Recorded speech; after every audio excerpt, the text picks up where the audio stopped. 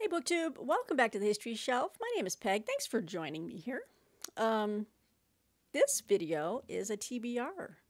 Um, it's a not all-inclusive TBR just because um, uh, I hope to get at some point soon some software and get some time to learn how to edit and so I can put in pictures like jacket covers of books that I'm reading so I can just pop them in and you can see uh, I'm reading several advanced review copies on PDFs on my Kindle, and they don't have jacket covers that I could even hold up my Kindle to show you. Um, but I am reading ebooks, um, and then I have a stack of books here that I'll be starting probably this weekend. Uh, not all at once, obviously, but I'll be, you know, these are the books I'm going to show you. These are books that I'm set to um, to review for different publications, um, either online, pr print, or both.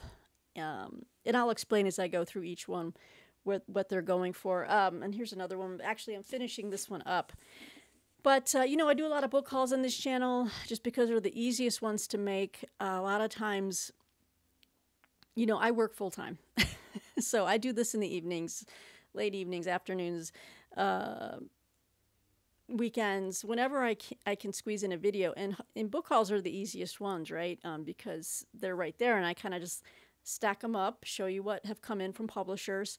Uh, it takes time to circle back around and pick up all the books that I've read and report back. And I, you know, I apologize for not uh, being better about that, but um, I do try to show on my social media and share the books that I have um, have written reviews on and uh, share with you. So please, if you want to follow my reviews and see what I'm, I'm reading and have finished reading and have written about, uh, you can uh, follow me on Twitter, Instagram.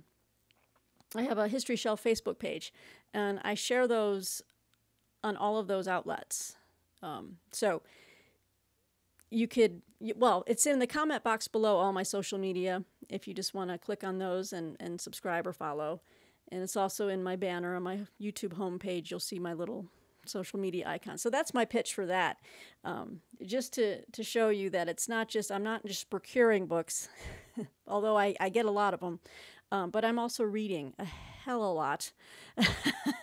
and uh, it's just so difficult sometimes to make these videos. But I wanted to show you what's coming. So I thought that actually might be the easiest for now until I can uh, get some editing software and circle back around and just kind of, you know, flip through the different jacket covers and give you a quick synopsis and my thoughts on it. Um, okay, so having said all that, uh, I'm almost finished with this book. I'll be writing a review for it in an upcoming issue of Book Browse.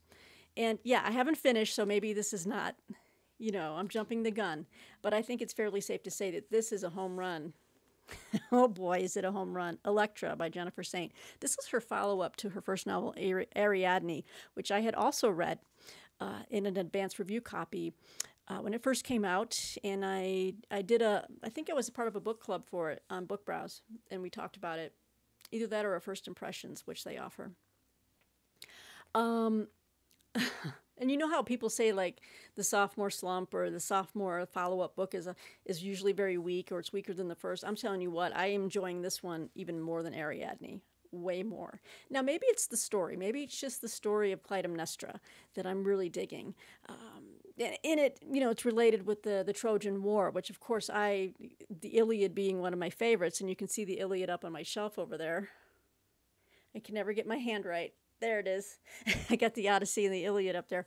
Um, it's the story is just so powerful. You know, Agamemnon, Clytemnestra. There's Helen. There's Electra. There's oh, there's Paris. There's Achilles. There's there's um, a slew of different characters. But what's going on in the story, and it's it's brilliantly told from a woman's viewpoint, which she also did in Ariadne. So, you know, the Iliad, you get the male side of things in a sense.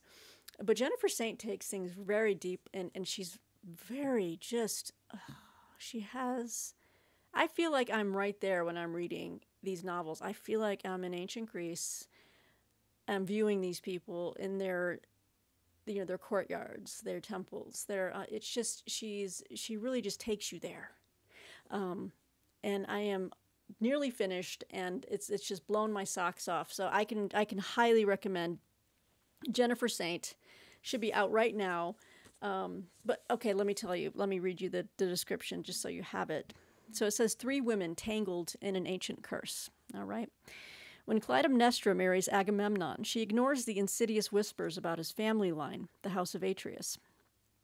But when, on the eve of the Trojan War, Agamemnon betrays Clytemnestra in the most unimaginable way, she must confront the curse that has long ravaged their family. In Troy, Princess Cassandra, that's the other woman here, uh, has the gift of prophecy but carries a curse of her own. No one will ever believe what she sees. When she is shown what will happen to her beloved city when Agamemnon and his army arrive, she is powerless to stop the tragedy from unfolding.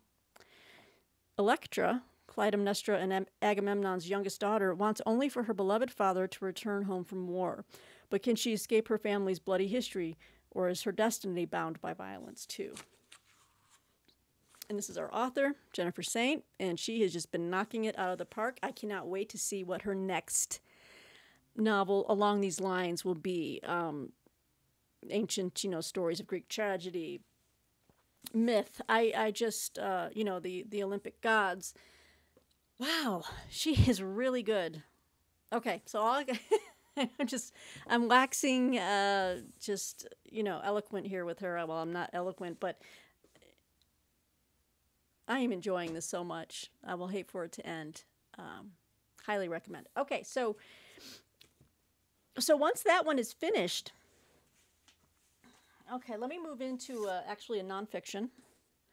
Uh, this is actually part of a book browse um, feature that they offer, which is called First Impressions, and they offer it to uh, members who um, would be willing to just write up a brief 100 word description or you know their immediate feedback for a new book.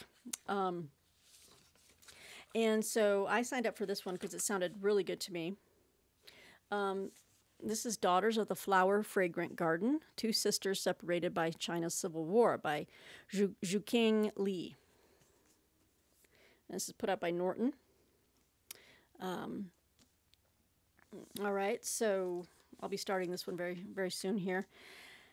Uh, see, John and Hong were scions of a once great southern Chi Chinese family each other's best friend, they grew up in the 1930s during the final days of old China before the tumults of the 20th century brought political revolution, violence, and a fractured national identity.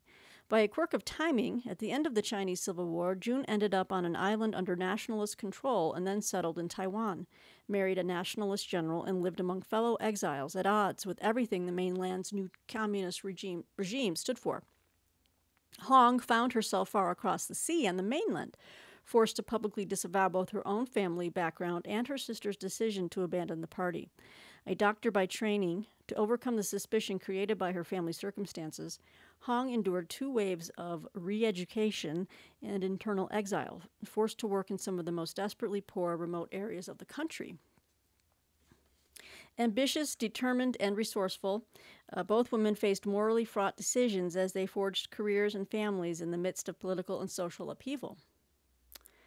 Jun established one of U.S. allied Taiwan's most important trading companies. Hong became one of the most celebrated doctors in China, appearing on national media and honored for her dedication to medicine. Niece to both sisters, linguist and East Asian scholar Zhuqing Li, the, the, the author, tells her aunt's story for the first time, honoring her family's history with sympathy and grace. Uh, it is a window into the lives of women in 20th century China, a time of traumatic change and unparalleled re- resilience. Um, in this riveting and deeply personal account, Li confronts the bitter political rivals of mainland China and Taiwan with elegance and unique insight, while celebrating her aunt's remarkable legacies. That is that doesn't that sound great? Um, and especially, gosh, well, not especially, but these these um, this is very much in the news right now. You know, obviously the the tensions between China and Taiwan and the people, some people. So we've got Daughters of the Flower Fragrant Garden. I'll be starting that this weekend. Okay. Uh, and then uh, I'll be doing, I'll be reviewing three books. uh, three, I guess you'd call historical fiction. One might not be um, for historical novels review. As you know, I've, I mentioned before that I write for them. I sign up every every two months for uh, a slate of books, usually two, sometimes three, and I went ahead and asked for three. and they're- all due um, in less than a month from now, like June 15th. So I'll be busy, little bee. Let's go first with this book, which sounded really interesting, and that's why I requested to be the one to review it. This is called The Maiden of All Our Desires by Peter Manseau. Manseau. Uh, it's put out by Arcade Books. This is the I got a final copy, which is great. Okay, and it's set during the Black Death, so you know I was like, oh yay! Why am I drawn to these things? I don't know. 14th century Europe. Uh, the Black Death has killed half the known world, and in an isolated convent, a small group of nuns. Of course, that's why it attracted me too. If there's like religious or religious orders and nuns, I just love stuff like that. Uh, nuns spend their days in work, austerity, and devotion, chanting the liturgy of the hours, but their community is threatened. Rumors, rumor, rumors of heresy and a scandalous book of Ursula, based on the teachings of the charismatic former abbess and founder of the order, have prompted the male church hierarchy to launch an investigation. The priest assigned to minister to the nuns, Father Francis, who is racked by guilt for an unspeakable crime committed during the lawless plague years, was no friend of Ursula and can't be counted on to defend the order. Disrespect and rebellion infects some novices, and the youngest among them pines for the bishop's chief inquisitor. And Mother John, the convent's aging spiritual leader, fears she's losing her mind after experiencing a vision that brings back her own rebellious past. Let me take a quick sip. As events unfold over the course of a single day, a blizzard that has swept across Europe will break over the convent, endangering the women there and testing their faith. In this astonishing novel, the author of the award winning Songs for the Butcher's Daughter explores the territory between faith and freedom and how the horrific events of history shape individual lives. Um, so, I've never read anything by Peter Manseau, I'd never heard of him before, and uh, this is a brand new novel, and I thought I'd take a chance on it. It's about a 300 page novel. And I'd never heard of Song for the Butcher's Daughter either. Um, there's our author. Sounds pretty interesting, huh?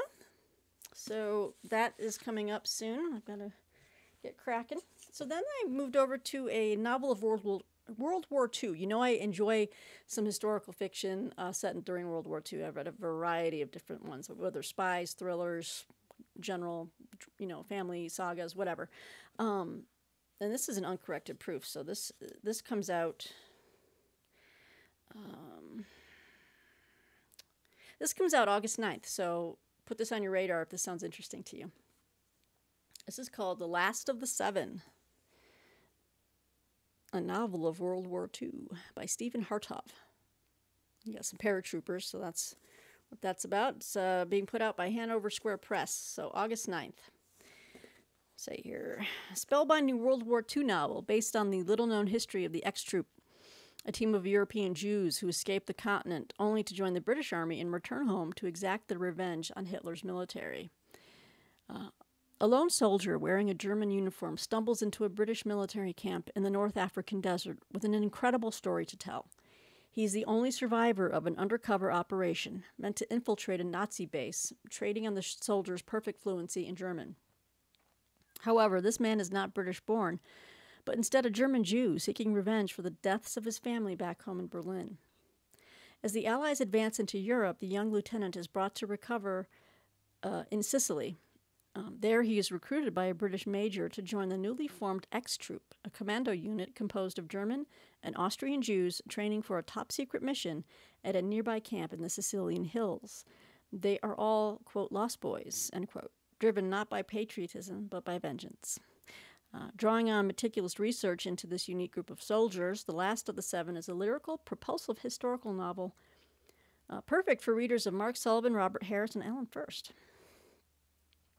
All right, so sounded really good to me. You know, I love a good World War II uh, story, especially if it's based on something um, true. So, uh, yeah, this comes out August 9th. So if you're interested, let me know. And also, um, if you want to hear back on my thoughts on some of these books, just uh, send me a comment or, you know, uh, in the video or down below in the comments. Um, some of these, you know, obviously you can follow on my social media. Historical novels review. I think you've got to be a member to see the um, to see the review, but I'd be happy to kind of just talk briefly about it, not you know give away too much. Anyway, uh, and then finally, this was a this was the my impulse at the last minute when they sent out the third list of books. I was like, okay, I'll take one more. um, this is coming out in June, so next month, very soon. Um, let me see if I can pronounce the name. This is an advanced copy of The Scent of Burnt Flowers by Blitz Bazawul. Bazawul. Bazawule. Uh, so, yeah, it comes out June 28th, so about a month from now. So, December 26th, 1965. A pit stop in the wrong part of an Alabama town ends with blood on a newly engaged couple's hands, and the only way they'll survive persecution is to flee the country. With a persistent FBI agent on their trail, they travel to Ghana to seek asylum and the help of an old college friend who happens to be the country's embattled president.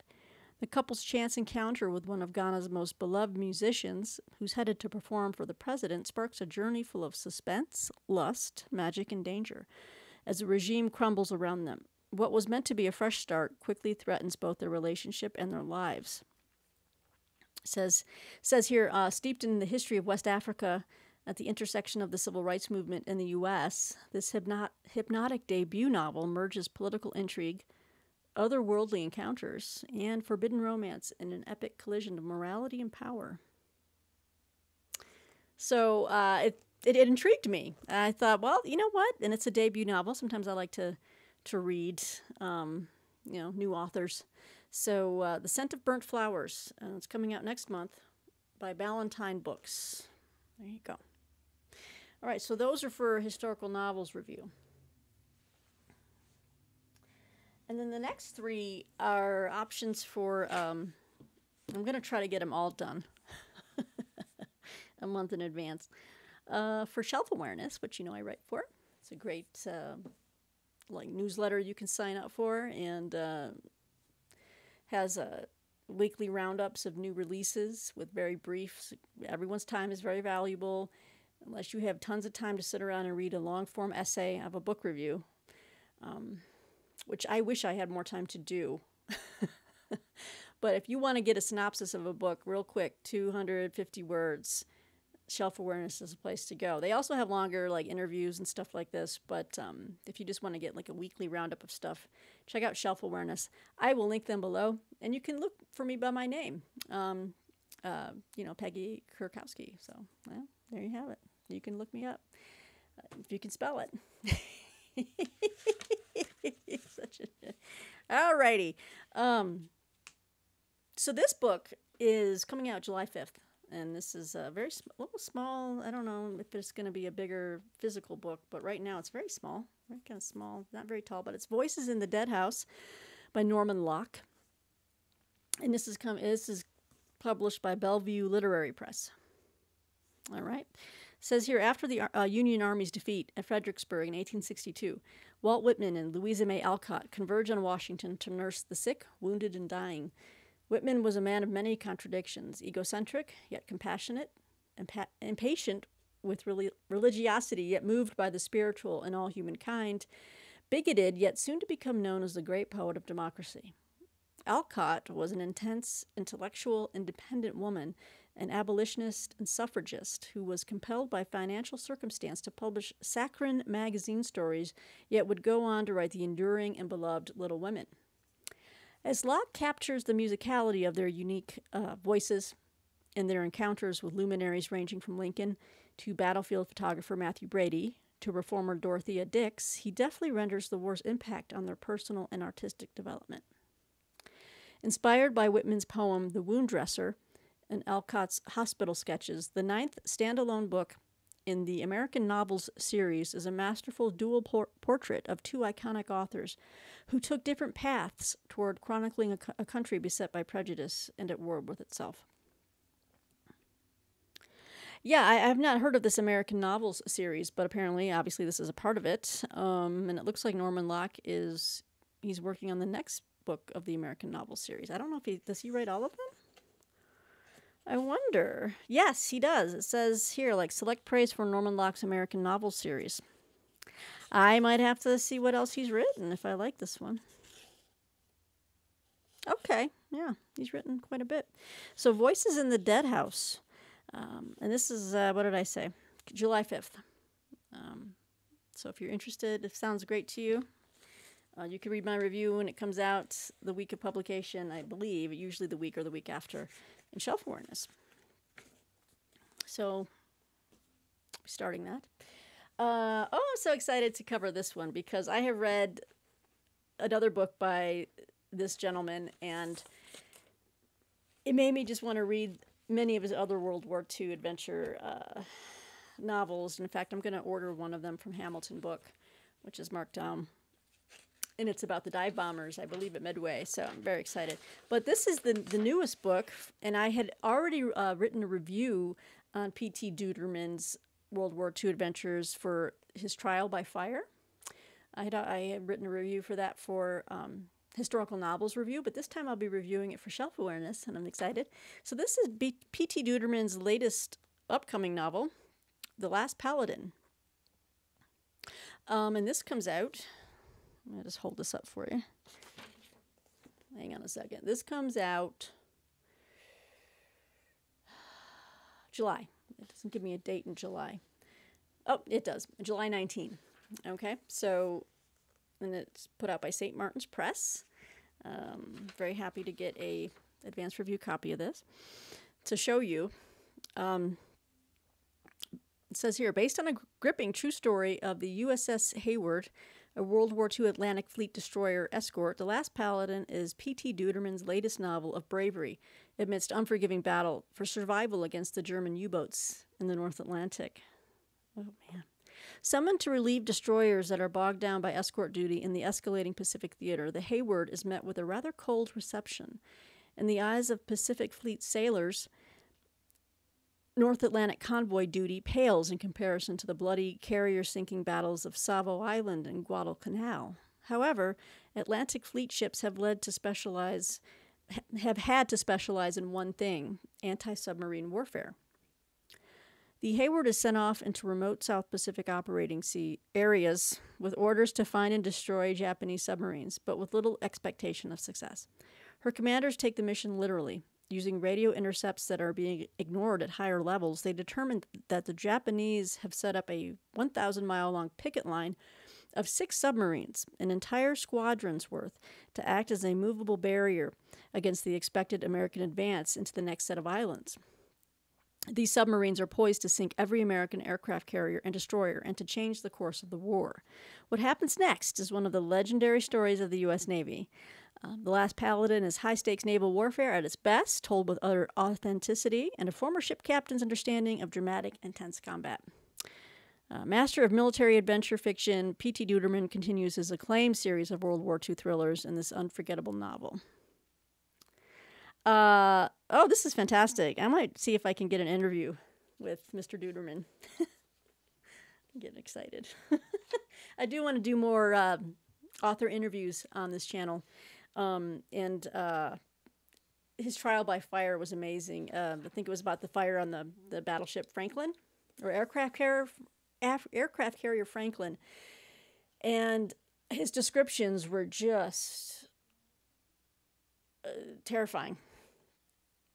And he knows ships inside and out. I mean, I I basically needed I wanted to have a schematic so I could see, you know, get a sense for the ship's innards, as it were. But um, I'm very excited to read this next book. So I will be reviewing this again for shelf awareness. Uh, it's coming out in July 19. So stay tuned. I will be reporting on that. Now let's see. So uh, 24 minutes. So um, final book is nonfiction. Uh, I will be reviewing this for shelf awareness as well. And I'll be starting this soon. Let me see if I can, I'll just keep it held up for you guys. So this is coming out also July 19th. And this is The Inheritors An Intimate Portrait of South Africa's Racial Reckoning by Eve Fairbanks. And this is being put out by also by well no, this is Simon and Schuster. Okay. It's already gotten a lot of blurbs. Sorry for the glare on that. I just I need this light. Um there we go. Okay. Um, a decade in the making. The Inheritors tracks three ordinary South Africans over 50 years in a sweeping, exquisitely written look at what really happens after a country resolves to end white supremacy. Uh, Dipuo grew, grew up on the south side of the mine dump that separated Johannes, Johannesburg's black townships from the white only city. Some nights she hiked to the top. On the other side were glittering lights as well as, she knew, prejudice and hubris. On her side there was dust, but also love. To a South African teenager in the 1980s, even an anti apartheid activist like Dipuo, the divide appeared eternal. But then in 1994, the world's last explicitly segregationist regime collapsed to make way for something unprecedented. The end of apartheid carried South Africa past a point the United States and Europe are still moving slowly towards the ascent to political, cultural, and intellectual power of members of the demographic groups the countries once colonized or enslaved. The inheritors uh, weaves together the stories of Dipuo, her daughter Malaika, and Christo, one of the last white South Africans drafted to fight for apartheid as the system crumbled around him, to consider what happens when people once locked into certain kinds of power relations find their status shifting.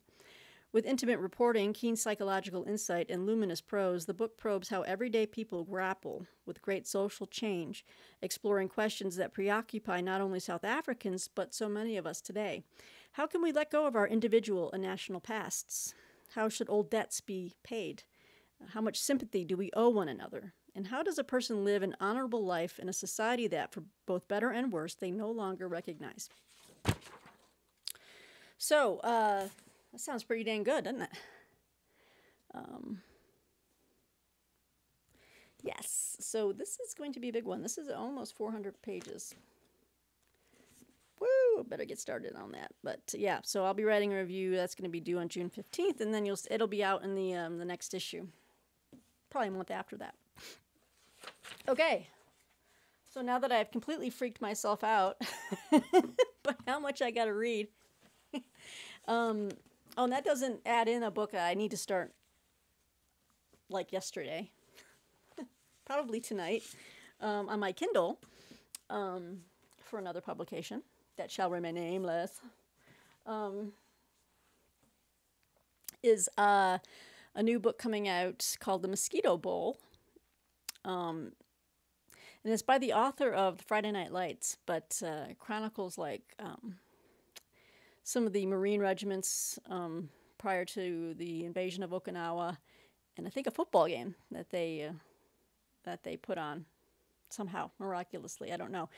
I haven't even begun it yet, but that was like the vagueness that I got from that the description. So uh, it's like a 400 page book. So um, that's due in about oh gosh, about 11 days. So I need to start reading. As you can see, I'm always reading, guys. So please just know that it's only because I don't have a lot of time to go back and edit and put things together. But I hope you enjoyed this TBR. Um, and, you know, uh, again, follow me on social media. That, that way you can see the output of what's coming out of the History Shelf. and I will try to report back as much as I can on books. Um, it's just been an extremely busy time post move. Um, I am hoping for more breathing room as things um, open up, hopefully. So, anyway, guys, let me know what you think of this upcoming TBR. And uh, more books are coming in constantly, so I will have other things I'm reading as well. So, anyway, tell me what you're reading, okay? And we'll talk soon.